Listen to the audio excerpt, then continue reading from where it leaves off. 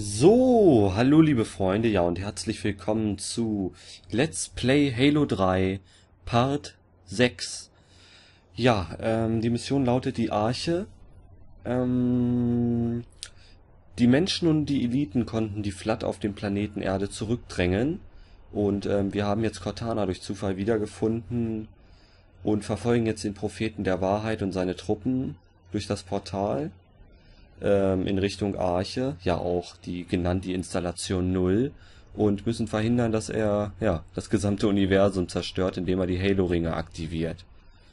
Jo, und ich würde jetzt einfach mal sagen, wir fangen jetzt einfach mal an, ne? Und ja, 2, 1 und 0, los geht's.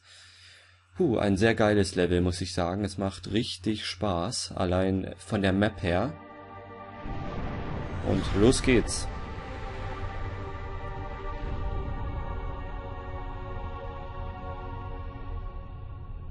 Ja, ihr seht hier die Armee der Eliten, die Flotte der Eliten. Und ähm, ja, da kommt die Allianz und jetzt stoßen sie aufeinander. Und im Hintergrund die Installation Null, auch genannt Arche. Rootschiffe, gestaffelte Linie.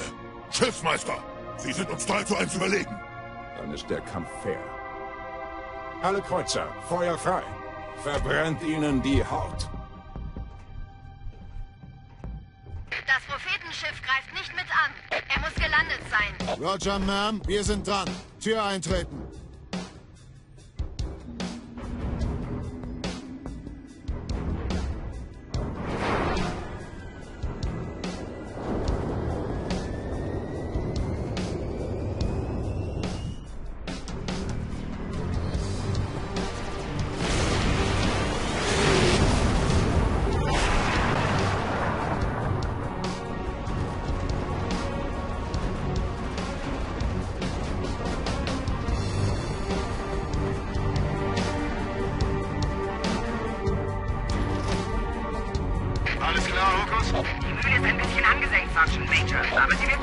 Gut, öffnen Sie die Luke.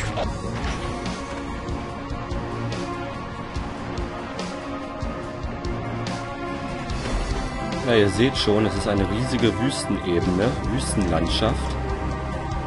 Was für ein Anblick. Genießt es, solange es geht, Marines. Sobald wir gelandet sind, geht es wieder rund. Oberste Priorität, eine Landezone für die Fregatte des Commanders sichern. Aber behaltet Augen und Ohren offen. Wir brauchen alle greifbaren Infos, wo wir hier eigentlich sind.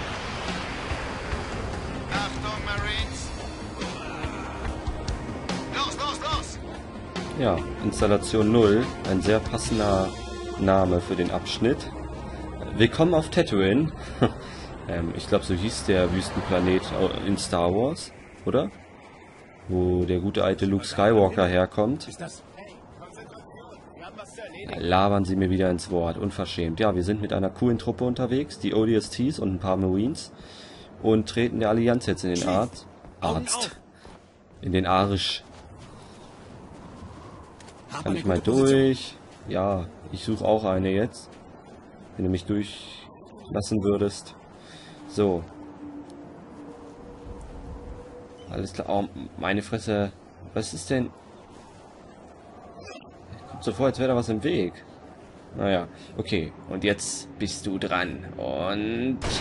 Tschüss. Tschüss. Dich kriege ich auch noch. Tschüss.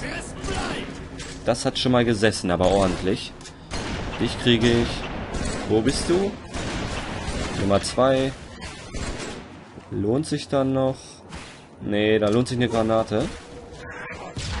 Das hat gesessen. Eine zweite? Hm, nee, keine zweite. So. Und tschüss. Verdammt.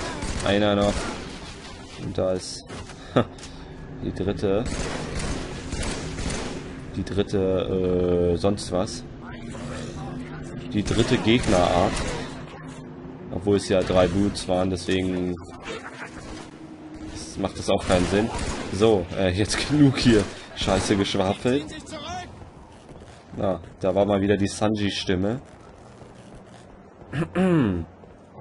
ja, also ich finde das Kapitel hier sehr geil. So Leute, ich habe jetzt noch mal was zu sagen. Ähm, ich wollte mich erst einmal bedanken für ja, eure Treue. Ich habe mittlerweile 44 Abonnenten und ähm, ich finde es echt klasse. Ich bin jetzt so gesehen seit einem Monat dabei. Eigentlich, ja, eigentlich sind zwei Monate, aber ähm, in diesem ersten Monat habe ich Skyrim Let's Played und das hatte nun, hat nun überhaupt keine Aufmerksamkeit auf sich gezogen. Ich hatte so gut wie gar keine ähm, Kommentare und so. Und ähm, das äh, bewerte ich nicht wirklich als YouTube-Erfahrung. Vielleicht werden sich Leute irgendwann mal die alten Videos ansehen, aber vor einem Monat ungefähr, wenn ich mich nicht täusche, habe ich mit Halo Reach angefangen.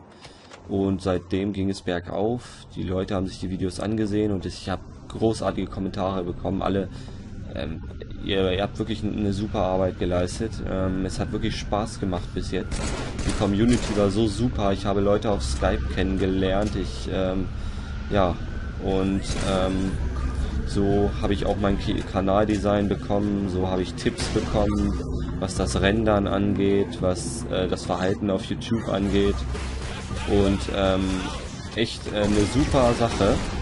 Und äh, danke für die Kommentare, danke für die Likes, vielen Dank für die Abos und ähm, ja Leute, lasst es so weitergehen. Das wird eine, ja, das wird eine geile Sache bleiben, wenn wir weiter so schön zusammenarbeiten. Und ich hoffe darauf. Und ich will euch einfach mit diesem Video, ähm, ja, für euch einfach, äh, nicht mit diesem Video, sondern jetzt mit diesem Gespräch will ich euch einfach sagen, ähm, ja, dass mir die ganze Sache auf YouTube sehr wichtig ist und ähm, ja, lasst es so weitergehen, Leute. Lasst es so weitergehen. Und ich bin ja Amateur und deswegen sage ich auch ab und zu M. Und das muss ich mir abgewöhnen. Das nervt mich gerade extrem, dass ich das gesagt habe. So, jetzt wollen wir aber hier endlich mal wieder zur Sache kommen. Zwei Jäger. So. Verdammt. Das war wohl. Das war wohl. Bloß nicht unterschätzen, die Typen.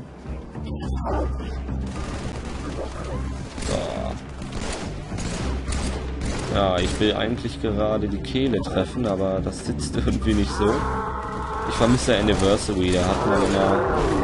Da hat man auch sonst was bei einem Jäger geschossen und der wurde einfach geplättet. Und hier, da war schon wieder Sanji im Hintergrund. Und hier muss man wirklich das Fleisch treffen. Und bitteschön. Oh, wie schön, ey. Sehr schön. Ich glaube, in Halo 3 habe ich noch nie einen Jäger so besiegt mit dem Schlag. Das ist relativ schwer. In Halo Reach kann man die richtig verprügeln, aber Halo 3... So, jetzt, ey, die geile, die geilen Brute Plasma-Waffen, Plasma-Pistolen. Sogar volle Munition und damit metzeln wir. So, komplett. Verdammt, verdammt. Na komm. Ich habe auch so einen Schutz. So. Äh, wo ist denn jetzt... Wo ist die zweite Waffe? Hier. So. Ich finde es cool, dass man beide unabhängig voneinander nachladen muss, denn... Oh. Man hat ja... Ähm, also ich kann rechts besser schießen als links. Ich gebe den Brutes alles, was ich habe. Das ist ein ziemlich haariger Kampf. Die Dawn hält nur ein paar Salven durch. Suchen Sie mir eine Stelle, an der ich landen kann. Over. Oh, sie redet schon wieder so schnell. Ich hasse das. Das gab es auch schon am Anfang von Part 3. Da hat Miranda Keys auch wieder so richtig... Wieder. Da hat sie zum ersten Mal so richtig schnell gelabert. Und ich weiß gar nicht, was das bei, dem Syn bei der Synchronisierung soll. Synchronisation. So, das ist eine geile Stelle, denn hier beginnt der Fahrzeugfight. Und ich finde, ja, das muss ich einfach mal zu Halo sagen, ähm, die Fahrzeugkämpfe sind wirklich episch, die liebe ich. Und ja, das ähm, im Vergleich zu anderen Spielen ist Halo wirklich meiner Meinung nach ähm, ganz weit vorne, was die Fahrzeuge angeht. Eine einfache Bedienung, eine schöne Auswahl an Fahrzeugen und ich denke auch einfach, oft ist es in Spielen so, dass es Fahrzeuge gibt, die einfach so übermächtig sind und in Halo finde ich ist das relativ ausgeglichen. Also wenn einem im Multiplayer-Modus ein Waze begegnet, denkt man schon, okay, ich bin gefickt, aber man hat schon noch einen... Oh, verdammt! Man hat schon noch einen Hoffnungsschimmer inne, wenn ihr versteht, ja? So. Dich kriege ich noch. Dich kriege ich. und tschüss. Ich muss sagen, ich habe die Grafik von Halo 3 gar nicht mehr, gar nicht so gut in Erinnerung gehabt. Aber das überzeugt ja wirklich. Also ich bin hin und weg. Die sieht ja wirklich richtig klasse aus. Leute, es war eins der ersten Xbox 360 Spiele, ne? Das ist ewig her und es ist wirklich eine tolle Grafik. So, was haben wir denn hier Feines? Immer wenn ihr einen abgestürzten Pelican seht, opfert ein wenig... Oh Gott! Opfert ein wenig Zeit. Oh Mann. Oh Gott. Oh nein. Bitte. Komm schon. Komm, komm. Alles abgesichert. Und... Oh, da. Glück gehabt. So, Kumpel. Und tschüss. Ha. Nicht richtig getroffen, aber vielleicht... Ich glaube, dadurch ist das Fahrzeug... Ist es dadurch noch fahrtüchtig? Ja, ist es. Gibt's doch nicht. Hm. Damit könnten wir gleich... Äh, nee, Moment, damit kann man gar nicht schießen. Ja, okay, dann lassen wir es. Und dann machen wir jetzt dich platt. Na, verdammt. So, noch zwei Raketen. Ich plätte dich, das schwöre ich dir. Na komm, komm rum. Oh, jetzt fährt er. Wo ist er? Da. Okay, und Feuer. Okay, das hat ein bisschen gesessen. Oh, wie schön. Schöne Sache. Das heißt, es ist noch voll befahrbar. Be voll befahrbar. Es ist doch keine Straße, das ist ein Fahrzeug selbst. Das heißt, es ist noch voll funktionstüchtig, fahr fahrtauglich, fahrtüchtig. So, mal wieder eine normale, vollautomatische Waffe. Ich weiß eigentlich gar nicht den Unterschied zwischen halbautomatisch und vollautomatisch. Keine Ahnung gerade. Halbautomatisch ist Salven? Ich weiß es nicht so genau. So Leute, steigt ein. So, und ihr nehmt euch das andere Fahrzeug. Sind sie schlau genug, um da einzusteigen? Weil sonst müssen sie zu Fuß gehen. Boah, das sieht so cool aus mit dem Audi ST oben auf dem Dach. Was wollt ihr denn? Seid ihr zu blöd? Jetzt, jetzt steigt er da in das Fahrzeug ein. Hä? Ach, da können sich auch noch welche reinsetzen. Wie cool. Ja, das Fahrzeug sieht man ja nie. In Halo Reach gibt es das nicht, in Halo 2 auch nicht, Halo ODST auch nicht. Das gibt's nur in Halo 3 und auch nur ein paar Mal. Das hatte ich einfach nicht mehr in Erinnerung und den da kriegen wir. Leute, plättet ihn und weg. Weg ist er. So. Und gleich bist du tot. Ja, bitteschön. So. Von allen Gegnern hier umzingelt. Aber wir meistern die Situation. So. Wen haben wir denn da? Hm? Rettet sie. So. Oh, meine Fresse. Wir haben einen Marine verloren. Ich glaube, es war wirklich nur ein Marine. Ein ODST hält mehr aus, das weiß ich. Boah, die sehen so cool aus, die Typen, ey. Hammer. So, Leute, ähm, Sleeping Dogs erreicht ja allmählich seine letzten Parts. Und ich muss wirklich überlegen, was ich als nächstes jetzt playe. Ich habe da schon eine neue Idee. Ähm, aber das werde ich euch in Sleeping Dogs sagen und nicht hier in Halo 3. Ja, damit zwinge ich euch Sleeping Dogs zu gucken. Nein. Ähm, ja, ich weiß nicht, ob ich es jetzt schon sagen soll. Es ist nämlich noch in der Beta-Phase die Idee. Nee, das... Äh, mal sehen, ob ich Sleeping Dogs muss ich noch aufnehmen. Mal sehen, ob ich es da rauskriege. Aber jetzt gerade traue ich mich nicht. So. Und das nächste Plateau.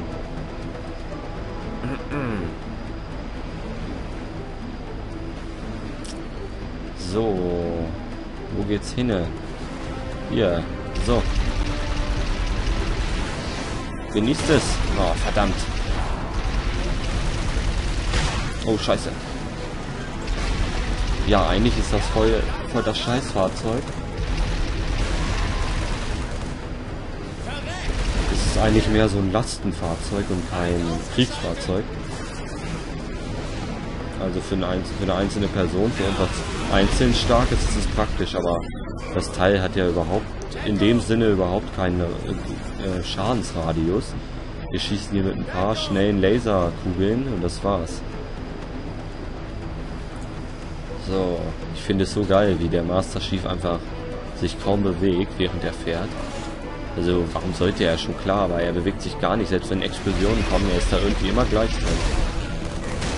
So, bitteschön. Ich finde das saugeil, wie Brute sich wegdrehen. Das, vor allem, das ist, eine, das ist auch eine richtig effektive Drehung, die die machen. Die schmeißen sich, die werfen... Die werfen sich richtig zur Seite. Falls ihr das schon mal beobachtet habt. So, und tschüss. Tschüss. Bye bye.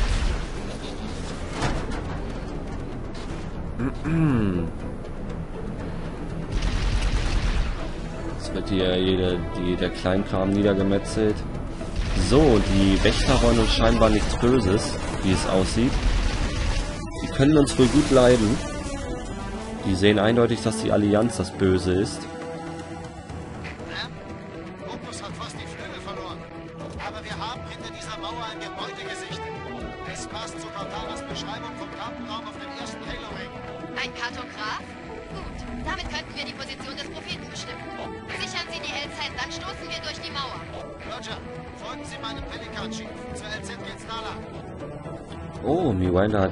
Schnell gesprochen wie so eine Irre.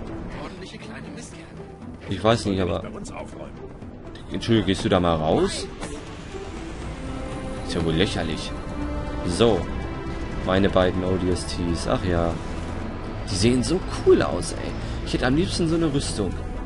Einfach um die in mein Zimmer zu stellen. Und ab und zu anzuziehen, wenn mir langweilig ist. wenn ich gerade in Halo-Euphorie Euphorie mich befinde. In Halo-Ekstase. So, die Jäger wollen scheinbar auch in die Richtung. Und da haben wir schon den nächsten Gegner. Und... Ach, jetzt schießt doch. Scheiße, scheiße, mach den platt, mach den platt, mach den platt. Huh. Ah, noch ist die Gefahr nicht gebannt und jetzt aber. So. Ja. Vorhin... Boah. Das Orchester, ey. Ähm, vorhin wurde die Forward Unto Dawn erwähnt. Das ist ein riesiges Schiff der Menschen. Ja, ähm, vergleichbar mit der Pillar of Autumn. So eine Scheiße. Wisst ihr, da fahre ich einfach eiskalt in so ein Gebiet rein und lasse mich killen. Das hätte man wirklich vermeiden können. Boah, scheiße. Weg hier. Verdammt. Oh, jetzt habe ich meinen ODST förmlich getötet. Damit habe ich ihn umgebracht. Damit habe ich ihn umgebracht, aber ich weiß gerade nicht, wie die Lage ist. So. Verdammt. Hebt der ODST noch? Ne, der ist tot. Das war's. Du kleine Bratze und tschüss. Scheiße. Na. Ja, ähm, ich habe gemerkt... Oh Gott. Ach, verdammt, ich wollte eigentlich äh, andere Granaten auswählen. So, jetzt aber. Komm, komm, ich... Ach, ich traue mich nicht zu werfen. Aber da. Oh, geil. Und tschüss. Bitteschön. So. Na kommt. Ach, okay, da sitzen welche von uns drin, glaube ich. Ja. Ja, genau. Ist ein Marine aber nur. Ist das der Sanji? Ich weiß es gar nicht. Ähm, wie ich... Ich vorbei. Ja, Leute, ich habe gemerkt, dass ihr irgendwie auf die Let's Battle steht bei Halo Reach. Die sind echt beliebt, also das werde ich wirklich fortführen. Da werde ich heute einfach mal ein Let's Battle 3 rausbringen. Also Let's Battle Ausgabe 3. Let's Battle Halo Reach Ausgabe 3. So. Brillant eingesetzt, oder? Brillant eingesetzt. Naja, so extrem strategisch war es jetzt nicht. War ein netter Schutz, sagen wir es so. So. Bitteschön. An die Pfote. Es ist so lächerlich, wie man, wie man Boots hier fertig machen kann. Es ist so lächerlich einfach. So, der Waze. Ausweichen. Was machen wir, Leute? Ja, schön. Weg hier, weg hier, weg hier, weg hier. So, was machen wir mit dir, Kumpel? Hm? Dich plätten? Warum nicht? So, dich kriege ich. Aber vorher ein bisschen aufräumen. Genau das Teil brauchen wir. Schön geworfen, meine letzte Granate. Verdammt. Ich bin aber auch so blöd. Wieso ignoriere ich den Waze? Als hätte mir der mir den Rücken zugekehrt. So ein Scheiß, ey. Mann. Ach, erstmal den ausschalten, das ist ganz wichtig. So. Ah, Dreckskerl. So, jetzt mal den Schützen hier wegkloppen. Und tschüss. Auf Wiedersehen. Ich muss sagen, die Grafik, die überzeugt mich wirklich. Die hat was. Sehr schön, sehr schön. Oh Gott, das Orchester, das macht mich fertig. Ich bin so nervös. Oh. Okay, wir haben gerade einen Marine verloren. Aber dich kriege ich, Kumpel. So, hoch. Verdammt. Oh, Mistkerl. Verdrückt, verdammt. So. Und jetzt versuche ich mal... Ja, ähm... In Halo Reach ist es so, dass man durch Schlagen den, den Fahrer rauskloppen kann und das Fahrzeug bleibt erhalten. Aber ich glaube, hier, ich glaube, hier geht das auch, aber man muss langsam, ich glaube, man darf nicht so schnell schlagen, also man darf irgendwie nur zweimal schlagen, das wollte ich damit sagen. So. Ah, Mann. Schnell weg hier. Ähm. Oh Mann, ich war schon wieder zu gierig. Oh, scheiße. Was war das denn jetzt? Mann. Ach.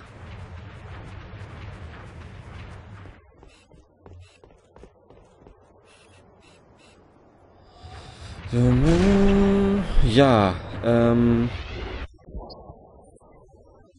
Mich kriegst du nicht, Kumpel. Mich kriegst du nicht. So. Schieß ruhig, mir macht es nichts aus. Dich kriege ich.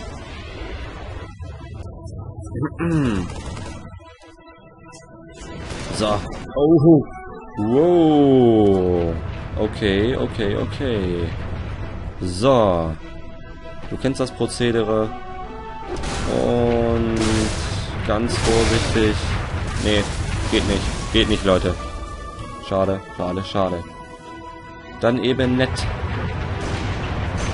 Dann akzeptiere ich das. So wie es ist. So. Du bist heute dran, Kumpel. Und tschüss. Auf Wiedersehen. Oh nein. Ah. Und da haut er ab. Ah, warte. Ach. Verdammt. No. Da ist auch ein Gegner. Okay, wie gehe ich da am besten jetzt ran? Ach Gottchen, ach Gottchen. Ach Leute. So, scheiße, scheiße, scheiße, dich kriege ich, dich kriege ich. So, das war's und... Oh, ah! Daher kam der Granatenschuss. Oh, scheiße. So, ah, verdammt. Und dich mach ich platt, dich mach ich platt. Oh, Gott sei Dank. Leute, das war jetzt richtig Glück. Und da hat sich gleich einer perfekt positioniert und dranstellen und auf Wiedersehen und jetzt scheiße, geh doch da weg. Ist Ach so, okay. Ja, komisch, ab und zu ab und zu löst der Master Chief sich von selbst bei diesen Nahkampfaktionen. Wartet, dich kriege ich dich. Ja. Perfekt. Ab und zu löst er sich selbst nach dieser Nahkampfaktion und hier bleibt er auf einmal hängen. Keine Ahnung wieso, keine Ahnung wieso. So, und tschüss. Und den mache ich durch kontinuierliches Schießen zugrunde. Richtig zugrunde. So, genieß es. Und gleich müsste es vorbei sein. Gleich. ähm, okay, dann machen wir es eben mit Granaten. Tschüss. Hä? So, scheiße, scheiße, scheiße. Tötet ihn. Huh. Was? Roger, setze zur Landung an. Oh, jetzt wird die Forward onto Dawn gelandet. Ja, erstmal das Ding, aber die... Schaut mal, ganz da oben. die Dawn auf die Atmosphäre eingestellt? Das werden wir wohl herausfinden. In Deckung. So. Wo ist sie denn? Wo bleibt sie? Ein riesiger Schatten und da ist sie. Ein riesiges Raumschiff. Boah, ein riesiges Teil. Ja, es gibt ja sogar eine Serie darüber.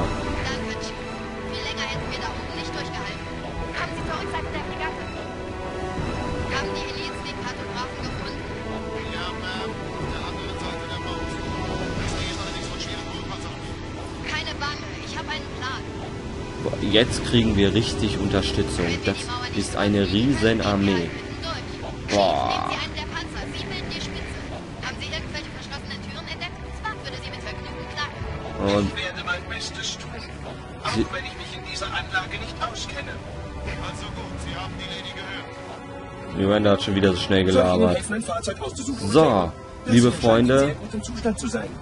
Ja. Oh, was für eine Armee. Was für eine Armee. Seht euch das an. Hoho, Alter Schwede. So Leute, und das äh, machen wir in Part 7 weiter. Und ich würde sagen, macht's gut.